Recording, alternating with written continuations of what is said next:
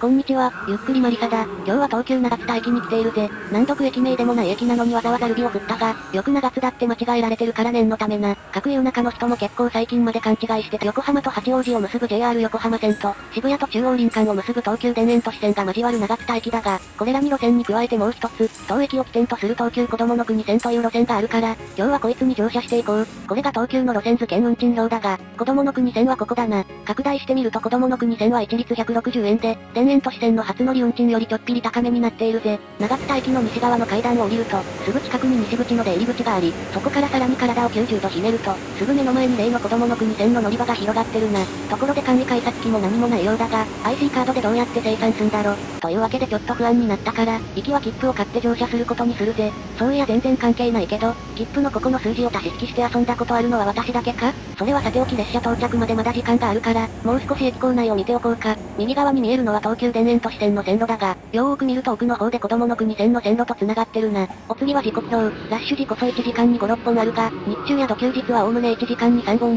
20分に1本間隔で運行しているぜ。ところで時刻表にやたら牛のイラストが描かれているが、日中は牛電車とやらがひたすらシャトルランしてるようだな。最後に乗り場のすぐ近くの西口の様子をば、かすれてる駅名表には東急電鉄の表記と合わせて、なぜか横浜高速鉄道という会社名も書かれているな。横浜高速鉄道といえば港未来線が連想されるが、どうしてこんなところに書かれているのかはまた後ほど。そんなこんなで当駅止まりの電車がやってきたが、これが折り返し子供の国行きの電車になるぜ。何やらえげつないラッピングが施されてるが、これがさっき時刻表に書かれてた牛列車ってやつだな。動物仕様になってるのは外側だけではなく、内装も牧場を意識したデザインになってるぜ。座席もカラフルでテーマパークに向かう路線らしいデザインだな。それじゃあ先頭車両に移動して、全面展望を撮影しながら終点まで乗車しようか。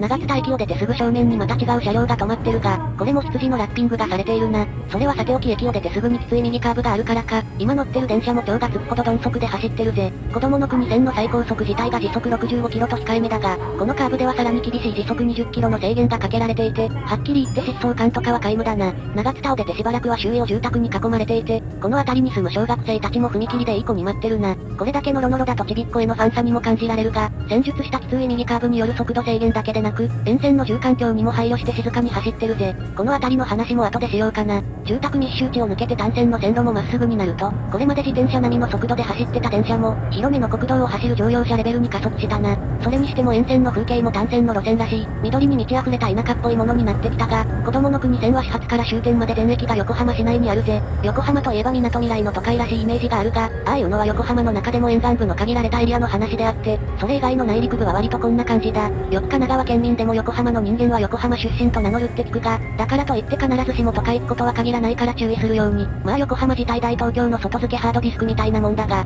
そんな感じで横浜市民を敵に回したところで、右側にどこぞの猫が下故障してそうな建物が見えてきたが、ここは長津田車両工場という、東急の全ての車両の検査を担当する施設だ。車両工場が見えてくると子供の国線唯一の途中駅、恩田駅もすぐ近くだ。一面二線の行き違いが可能な駅で、朝や夕方のラッシュ時にはここで行き違いをするぜ。柵が建てられてホームの端に入れないようになってるが、昔は今以上に長い列車が行き来していたんだろうな。あるいはさっきの工場に出入りする長い車両を想定してるとか。さて、普段の動画だったら終点までの道中で、路線の概要や歴史、特徴などをダラダラと喋るわけだが、今回はこのまますぐに終点まで向かって、長津田までの袋でその辺りの解説をやろうと思うぜ。路線自体もめちゃめちゃ短いし、そっちの方が何かと都合がいいんでな。というわけで終点まで一気にカット。例によって2両編成を持て余す長めのホームの奥には、遠目でもわかるくらいこの電車を待ってる人が見えるぜ。しかも雰囲気からして子供の国に用がある観光客というよりは、乗客も含めてこの近くに住む住民って感じだな。子供の国駅は普通に自動改札機が設置されされてるが、例えば長津田駅で切符を買わずに乗ったり、IC カード持参の上で飛び乗ったりした人は、ここにある自動生産機で運賃の支払いができるようになってるぜ。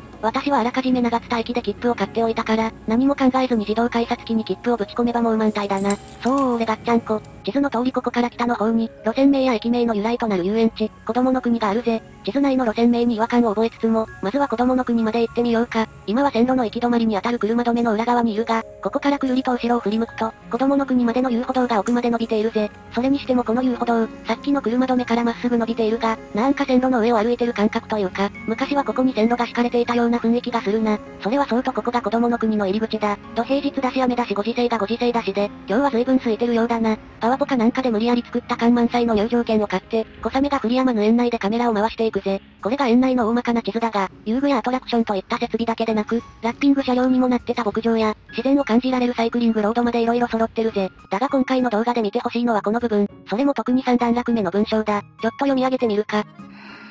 この土地には戦前から旧陸軍の弾薬庫があり、戦後には米軍が使用していたが、子供の国建設のため昭和36年5月5日に返還された。現在も内州道路沿いなどに弾薬庫の跡が残っており、一部は倉庫などに利用されている。だ、そうだ、そう、ここはかつて旧日本軍最大規模の弾薬製造貯蔵施設で、子供の国線の線路も昔は弾薬を運ぶための路線だったんだ。今でこそ駅のところで線路が切れてるが、当時はあの遊歩道の先まで線路が伸びてたぜ。このやけに頑丈そうに見える年季物のトンネルも、おそらく弾薬庫時代から使ってきたものだろうな。さて、別に遊園地でキャッキャウフしたいわけではないから、弾薬庫の話も済んだし駅に戻るとするか。お、来やがったな。そういえばこの電車は横浜高速鉄道 YK 電車といって、この牛電車は全3編成ある YK の中でも、一番最初に作られたため Y001 という番号が振られているぜ。これはいわゆるトップナンバー、略してトップなんとかなんとか言われて、ゆっくり鉄道旅界隈で賑わっているらしいんだが、中の人は別にトップナンなんぞに興味ないから、あの異様な盛り上がりっぷりに違和感というか、言いようのない気味の悪さを感じ乗車前に IC カードの残高を確認。改札の外の券売機にぶっ込んだ時点では、手持ちのカードの残高は994円だな。だが長津田駅に IC カードの読み取り機がないから、運賃はここの改札を通った時点で支払われるようになってるぜ。157円分、きっちり引かれてるな。というわけで長津田駅の袋の列車に乗り込んで、元来た道を引き返す道中で、今度は子供の国へのアクセス路線となった話や、さっきから名前だけ出し続けて放置してた、横浜高速鉄道との関係性を話していこうと思うぜ。戦前は国鉄長津田駅と弾薬庫を結ぶための路線だったが、弾薬庫の跡地に遊園地が建設されて、この線路も遊園地までのアクセス路線として生まれ変わった。ってのはさっき話した通りだ。この営業路線への転換は東急電鉄も一枚噛んでいたものの、純粋な東急の路線ということにはならず、社会福祉法人子供の国協会という組織が路線を所有し、東急はそれを借りるという立ち位置に収まったぜ。社会福祉法人子供の国協会とは何ぞやというと、さっきの立ち寄った子供の国の運営の事業主体で、開園時は国営だった子供の国の経営の公認者にあたる組織だ。それはそうとこんな感じで、線路や設備を所有している組織と、実際に鉄道の運転を取り仕切る組織がずれているのを、上下分離方式なんて言ったりするぜ。この場合は線路の持ち主の社会福祉法人の方が下で、運転を担当してる東急電鉄の方が上だな。営業開始当初よりこのスタンスが取られ続けていたが、1987年に施行された鉄道事業法にのっとり、社会福祉法人の方が第3種鉄道事業者、東急電鉄の方が第2種鉄道事業者となったぜ。何やら難しい漢字の羅列がテキストを彩るが、鉄道事業法では経営方法によって、第1種から第3種までまでその区分が分けられることになったぜ。第1種は自社の鉄道施設で運送を行う事業。まあ一般的にイメージされる鉄道事業がこれに当たるな。で、ここからが本題の第2種と第3種だが、第2種は他社の鉄道施設を借りて運送を行う事業で、第3種はよそに鉄道施設を貸すだけの事業となるぜ。やってることとしてはさっき説明した法人と東急の関係と同じで、それに明確な名前が付いたってところだな。ちなみに実際に鉄道を運行することのない第3種鉄道事業者が、どうやって利益を出すのかというと、所有する鉄道施設を借りて実際に鉄道事業を行う会社から、諸場代を受け取ることで儲けているぜ。今回の場合だと東急が法人の方に支払ってることになるな。さて、この法律が施行された1980年代後半から、この辺りでは沿線の大規模宅地化が進み、沿線人口の増加により通勤需要が高まったぜ。だがこの路線の所有者はあくまでも第三種鉄道事業者の法人側で、ここを通勤需要を設け持つ鉄道路線にするのは、公益法人である彼らの目的からは外れてしまうから、鉄道事業をどこかに譲り渡す必要に迫られたぜ。そこで名乗りを上げたのが横浜高速鉄道株式会社、神奈川県や横浜市などが出資する第三セクター方式で、当時まだ港未来線を建設中だったこの会社は、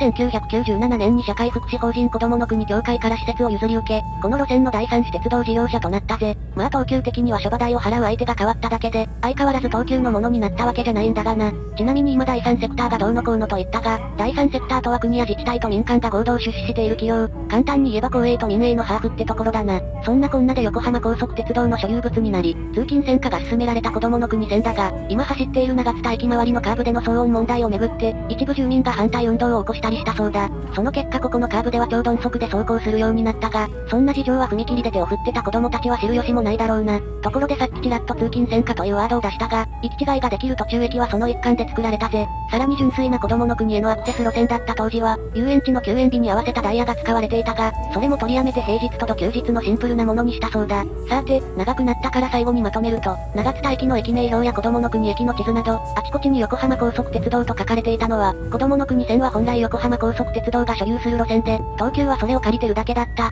というオチだったぜ。だから他の東急の駅から子供の国駅まで運賃を検索すると、こんな感じで長津田で運賃が一旦途切れるぜ。みんなも子供の国線に乗りに行くときは、横浜高速鉄道に思いを馳せながら160円を納めるように、そんなこんなで長津田駅に到着、弾薬を運ぶ路線から遊園地に向かう観光客を運び、今では地元の通勤客も運ぶ路線となった東急子供の国線、元横浜高速鉄道子供の国線を紹介したが、いかがだっただろうか。今回は路線の歴史や鉄道事業の解説が多くなっちまったが、ここまで飛ばさずに見てくれて本当にありがとうな。というわけで今回の動画は以上になるぜ。良ければ高評価、コメント、チャンネル登録よろしくな。それでは、ご視聴ありがとうございました。